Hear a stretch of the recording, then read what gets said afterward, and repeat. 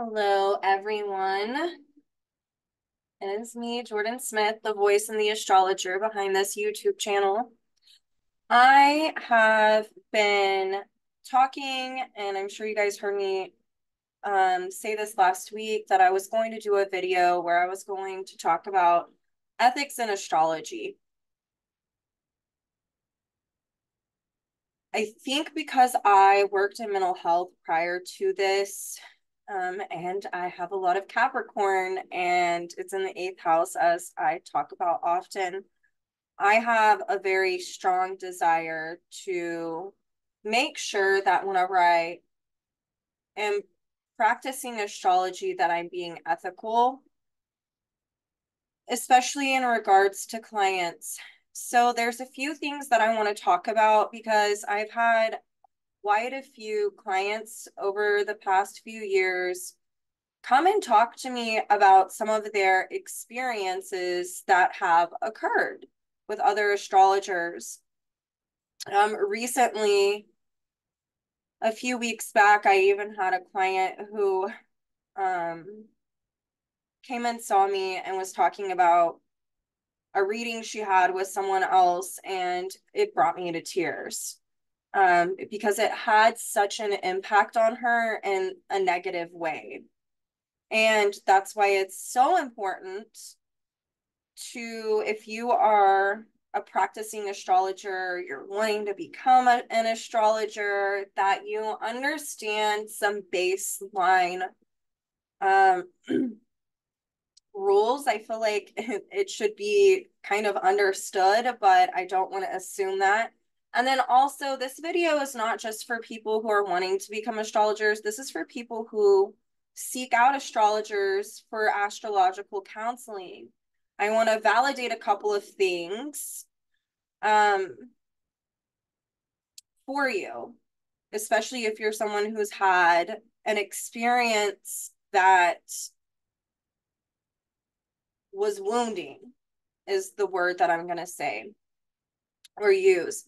So there's a couple of things. Number one, as an astrologer, we don't have, like in the medical field, with um, any type of mental health, uh, they have HIPAA regulations. We, as astrologers, do not have any type of HIPAA.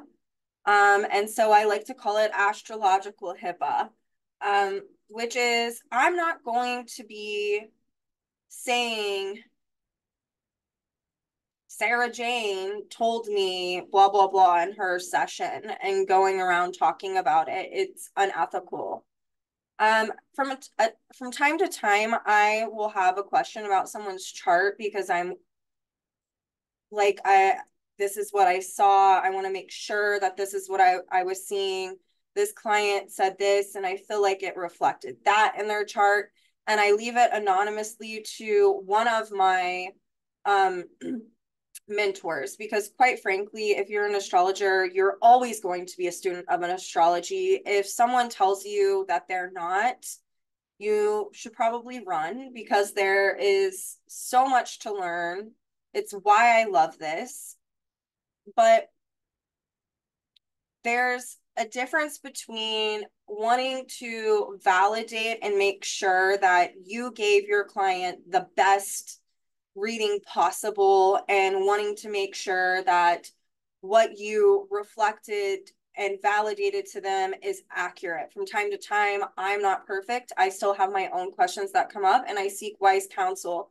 It's no different than when you're a therapist, you are going to have someone who oversees you.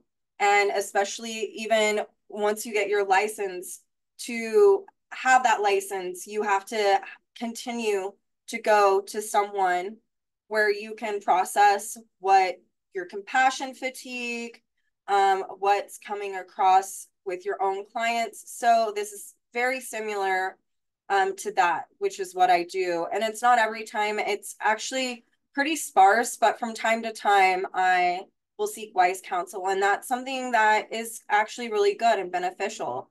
I think that um, it wouldn't be good if I felt like I knew everything. The other thing is, is that so we don't want to, you know, a good astrologer who is ethical is not going to go around talking about people's private business. It is an honor that my clients come and talk to me and they share very personal things with me. I would never want to betray their trust. Um, and so, again, you don't want to be going to an astrologer who is talking about your chart and what you've said to other people. And that can happen. I've seen it happen with people who um, if they have like a spouse or a partner who's in astrology, sometimes I've seen that happen. Um, I've also people who um, I've known where I live. I've I've seen other astrologers do that too, and I've said something about it. Um, I have no qualms about speaking up about how that's not okay.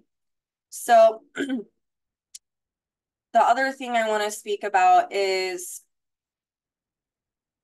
it's really important that as an astrologer that you're doing your own personal work um and that you are able to self-reflect and to be honest with yourself um you know because there can tend to be projection that happens. And that is something that i have seen time and time and time again. When I've had someone come to me and they've had a reading with someone and it is where that person oftentimes it's someone that I, I might have known whether it be here where i live or just in the astrological community where that person is actually projecting their own dynamics onto someone else's natal chart and it's because they're not doing their own inner work. I even had, um, I've had my fair share of readings uh, before I became an astrologer. And one of them that sticks out the most to me that was very detrimental. Um, and I called it in for my own reasons. Okay. Um, I went to an astrologer. It was for my birthday one year. And we were talking about my relationship I was having at the time. And at the end of my session with this person, they told me, Yeah, you and your weird sex. And to this day, I'm like, weird sex? Like what what the hell does that even mean? like, um, I just didn't know what this person was referring to. And also, it was the tone and how this astrologer said it. It was very judgmental. So that leads me to this other dynamic of when you are sitting with an astrologer, if you are experiencing them being judgmental, that is not okay. Sometimes I will not necessarily give like tough love, but I will plant seeds. I will, if they're, if someone's talking about something, I can be very scorpionic and be like, well, yeah, but this is also occurring within you right now, or something like that. Um, not because I'm judging, but it's because it's like it's wanting to come to a head. Sometimes I don't say things because it's like I intuitively am like, this person isn't ready to hear this, you know, and I need to be gentle about this. But there's never any judgment. Um, I'm going to tell you right here, right now, I have lived probably like eight lives in this one life. There's nothing that I've had a client come to me about that I've ever felt like I could judge them for. Um, whether that be their sexuality, how they're identifying on a gender level, um, they're, if they've had abuse or trauma, or even if they have talked to me about something that they've done that they feel um natural guilt about. And it could be something that's quote unquote really bad you know but it's there's a reason why all of us experience certain things.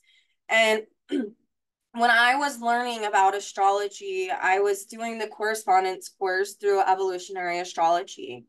And i remember jeff on that talked about how if you were going to be judgmental that this was not the right career for you and I tend to extremely agree with that. There's no room for judgment to be judgmental during this. You can make a judgment call when um, you're with a client about whether or not there's something that they should hear Um, but as far as viewing them uh, in a fragmented way of bad, good, this, that, or the other, you've got to leave that out the door. I've had moms who've come and seen me um, in sessions and they have talked and been really honest about their feelings towards their kids and what's going on in their life. And whenever you look at their chart, you can totally see that maybe that there's been prior lifetimes of where they didn't get to uh, there were separations with them and their kids. And so in this lifetime, they're not really knowing how to show up as a parent, or maybe they had to abandon their child uh, for survival reasons in prior lifetimes or in this lifetime. And there can be immense amount of emotions coming up. Um, there's so many reasons why someone will come to you and talk to you about something. And it's not my job to judge. And so I hear a lot of people come through my doors over the years who have talked about how they have felt extremely judged. And my experience that I shared with you, so did I. And I didn't even know why that was brought up in the first place. Um, especially in that way, because it wasn't a conversation about sexuality or anything like that. It was kind of just someone projecting their judgment onto something they saw in a composite chart that to this day I still don't even know what they're talking about. Um, and it was their own assumption and judgment projected. You can't do that, period. Um, that's why astrology is a science of observation and correlation. It's why I tend to ask my clients uh, questions or is this making sense or do you have a question? Um, because uh, a session with an astrologer shouldn't be them talking at you. It should be a conversation where you get to ask about what it is you're wanting to know about. And that person person should the astrologer should stop from time to time to ask is this making sense? Do you have any other questions? Is this resonating? And if it's not, then asking more questions and being open to it. It's not about me being right all the time. It's about me trying to help. And archetypes are vast and wide, and they can show up in a plethora of ways. And so sometimes you really do have to be a detective and ask questions. So if an astrologer is working with you in that way, that is amazing. That is someone who's being ethical. It's not about them being all knowing.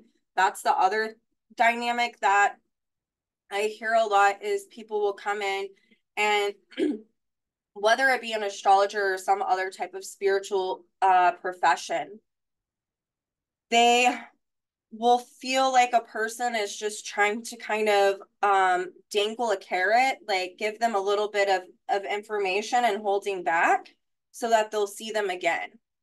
And that um, and and they're wanting that person to come to them about everything right? I have some clients that are repeat clients but they are it's of their own volition. Um and occasionally i'll be like hey i'm about to do this um birthday special or whatever and because you see me so often is do you want me to book something for you in case this fills up? That's very different than um, withholding information in hopes of someone coming back to you so you can be the all-knowing one. Uh, a good practitioner in whatever um, field is always going to try to empower you and validate you and does not want to create any type of dependency, period. That is the mark of a true blue, ethical, spiritual person is not wanting to create any type of dependency. Okay. The last dynamic I want to talk about that I hear a lot about that I want to kind of counteract through this video. I hope that this video is helpful to you guys. Um, is sometimes I have clients come to me and they will have gone to another astrologer and I end up spending that session undoing what another astrologer said. And it's pertaining to some specific sign or house placement of a planet in a specific uh in a specific um sign in a specific house. So we're dealing with the blending and synthesizing of archetypes and what ends up happening is the archetype is overgeneralized by another astrologer, or they're projecting their own stuff onto that archetype because maybe they have it strongly in their chart. I'm not really sure, but it's overly generalized and it becomes demonized. I will say there are specific signs that I see this happen quite often in, and that would be Leo, um, the fifth house, Scorpio, the eighth house, and sometimes Capricorn, but it's more specific to Leo and Scorpio. I tend to get clients who come in in tears because someone told them that they were some famous ruler or sadistic person in a prior lifetime and the reason why they're feeling so much horrible guilt or judgment or shame kind of pulling in virgo capricorn um, is because they mistreated people. And that's why they're you know having so many issues and that's why people treat them terrible is because they were they treated people terrible in a prior life before. I've even had someone with a lot of eighth house stuff come in and shared with me how she had been sexually assaulted and how she saw another astrologer and that astrologer told her the reason why that happened was because she had sexually assaulted someone in a prior lifetime and that is not what was reflected in this woman's chart. Um so i want to kind of talk a little bit about this. People tend to focus on the negative negative qualities of particular signs i feel like but there's something that everyone needs to know is that there are natural expressions of them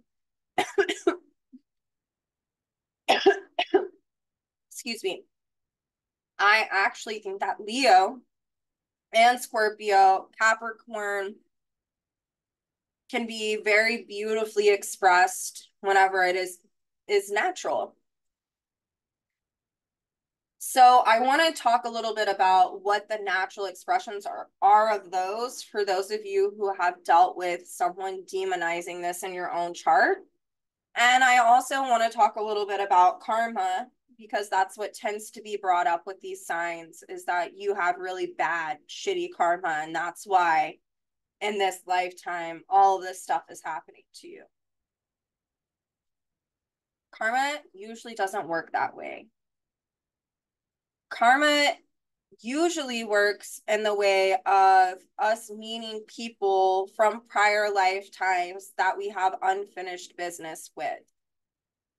When we are resisting our own evolution on an emotional level through evolutionary and karmic necessity, we will re experience certain dynamics in this lifetime that can be absolutely not pleasant.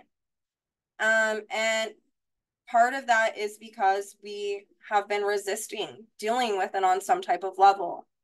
I am going to be really honest. Even in my chart, it reflects someone who's had a lot of sexual ass- assaults. And in this lifetime, I did experience that a couple of times. Luckily, through EA, what I learned about this was it's not because I did that to anyone before. And this is really important for people to hear, not regarding me, but like if you've been told some bullshit that this happened to you because you did this, that's not how karma works. Most often, the reason why things like this happen is they are a re experience of something that has happened in the past in a prior lifetime. And for me personally, and this is what I see often, is we only evolve through the emotional body, not through analyzing or intellectualizing. That can help, but truly you have to experience the full emotionality and to heal in order to evolve and to grow. I had horrendous things happen to me, not just in this lifetime, but prior, and I never dealt with them. It was too hard. I would check out. I committed suicide in prior lifetimes. I have um I have abandoned children before because I felt like I was crazy because of bad things happening to me. All sorts of different reasons revolving around my own self preservation or the illusion of it in prior lifetimes. But ultimately, it was not me dealing with the trauma and the emotional dynamics of it. And in this lifetime, I re experienced, I chose in this lifetime to re experience key things in order for me to evolve through them. So that way I could take responsibility of my own healing and not check out again. This is a dynamic that is seen so often. It is one of the reasons why it takes us so long to evolve, is because it's hard dealing with trauma. And that is one of the biggest reasons why we will experience certain things in this lifetime not because we're here to suffer, not because we're bad. It's not usually because we've done something bad. It's because something horrible happened in a prior lifetime and we just didn't deal with it because we didn't have the tools. We didn't know how. It was painful. It was traumatizing. It was hard. And at some point on a soul level, we choose to re enter that emotional fracture. And I want to make that very clear to people who have been told that this happened to you because you did this to someone. I'm going to say about 90% of the time, that's absolute bullshit. It is literally because we need to deal with the emotional dynamics of it. So that is um, an evolutionary necessity, right? To have to re experience something like that. And then karma is where we're re-experiencing relationships with others or certain personal dynamics that didn't ever get to come to fruition so we couldn't move on. All right? That's why there's so many people who have um karmic relationships. It's very rare that you're going to see a a soulmate relationship. Um it's very rare I think that a lot of us want to believe that it's more common, but it's not. It takes a long time to get to the place of a soulmate. And it's karma mates who typically end up being soulmates because they choose to walk it out, to go through the motions life after life. And um, there's a spiritual dynamic that's underlying. But most often, most of us are experiencing karmic relationships. and it's because there's unfinished business and we're needing to learn. And that can be a whole other conversation that I can give if you guys want me to about different soul types and what they mean um when we're dealing with relationships because there's there's uh different soul typing through um relational dynamics but for this video's sake, I just wanted to touch on that. Now, the last thing is I want to tell you, this is going back to how I see certain signs and houses get demonized, and it's usually through someone's own projection. Like the whole Leo thing. You were some king or queen who was evil and mean and this and that, or you were famous and blah, blah, blah. Sure, oftentimes Leo can deal with a lot of fame and recognition, but sometimes what I typically see, especially if someone has uh, a Leo dynamic dealing with, um, especially if it's like ruled by a Taurus sun or something like that. Oftentimes there can be, and if you pull in Virgo and um, Capricorn, oftentimes what I see is someone who was their own unique individual self, Leo, and in a prior lifetime was persecuted and judged and possibly killed for being different. And so in this lifetime, if they have a lot of Leo, it can be where there needs to be extreme self focused in order to self actualize through reconnecting with their own unique individuality, which they abandoned in a prior lifetime stemming from trauma. There, so, this is a way that Leo can present itself. Leo, whenever it is naturally expressed, is someone who does need self focus because there's something special that they are meant to do and they will feel it on some type of level. And it, it's because that's where they're at evolutionary wise and it's it's a necessary function. Now if it's distorted of course it can get into narcissism and elitism and an exclusionary behavior. But whenever it's naturally expressed it's someone who is here to self-actualize and have some socially relevant um, purpose that's meant to help the collective and so there needs to be a lot of self focus in order to figure that out, in order to self actualize that. Other dynamic I see is a lot with Scorpio. These are people who are, you know, you hear um, that they're manipulative, that they're bad, um, that they abandon people, that they have uh, distorted sexuality. Um, evil is another thing that gets projected on that on Scorpio a lot. Um and I mean, you guys can name off what you've heard about Scorpio in the comments. Whenever Scorpio is naturally, or the eighth house is naturally expressed, that is someone who is wanting to get down to business. They are here to evolve and they are going for it, even if it is shit that they feel like could kill them.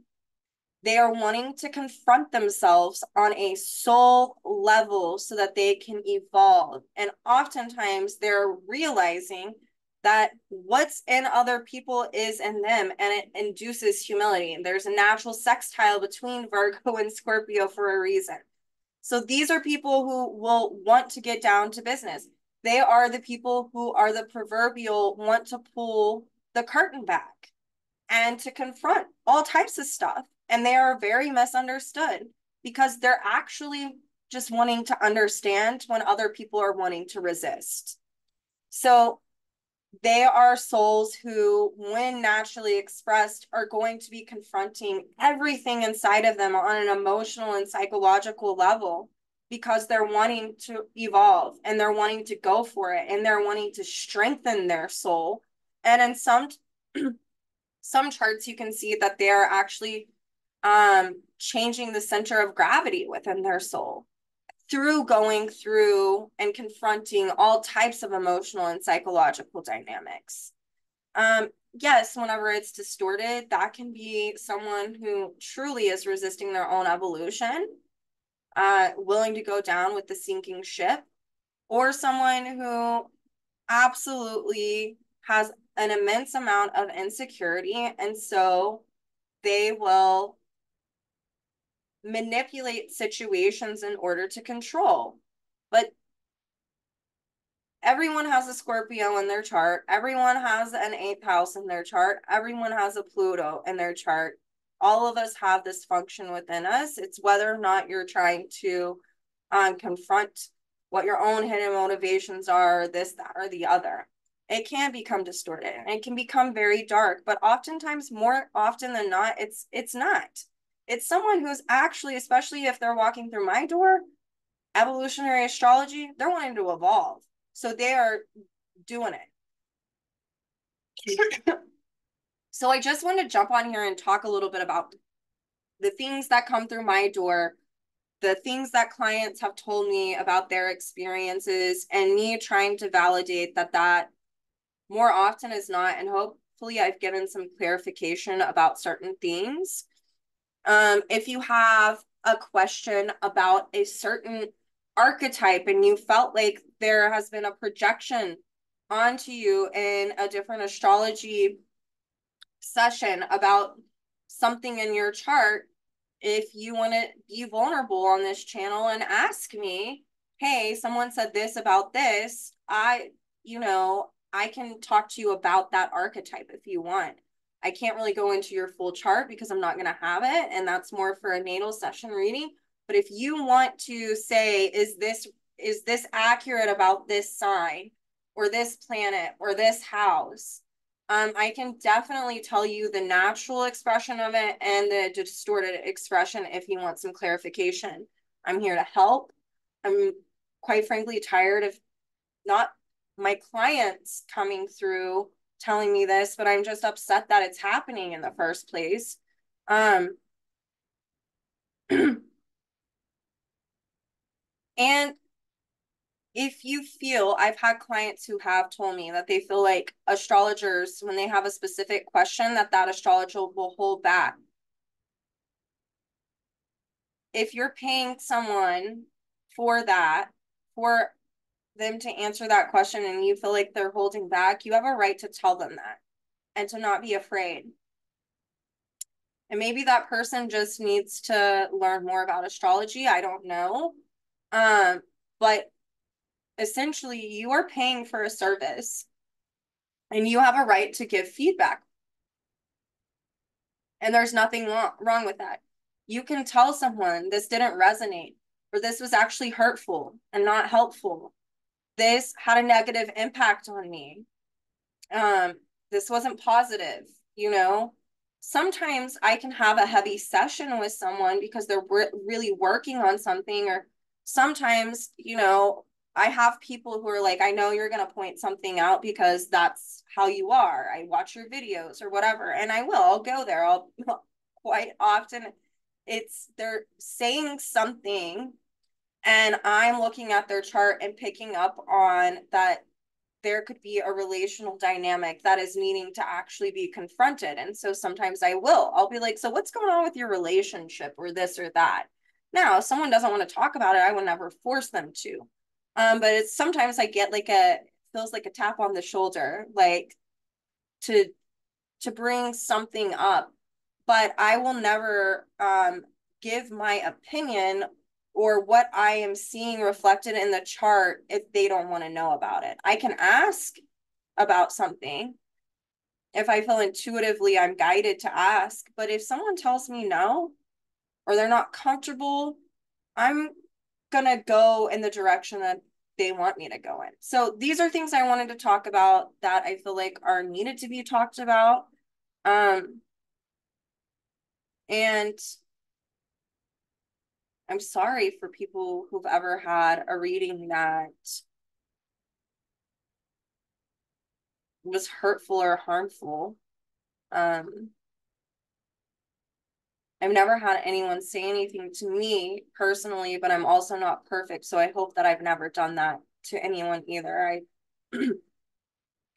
but I am, it does upset me when people come to me and they tell me about something that's happened in a session and it's been extremely harmful or hurtful. So anyway, let me know if you have anything to say or questions. Uh, leave it down in the comment section. I would section. I would love to have a discourse about this. And if anyone wants me to answer any questions, hopefully this opens up a conversation and a dialogue for you to either share or to ask.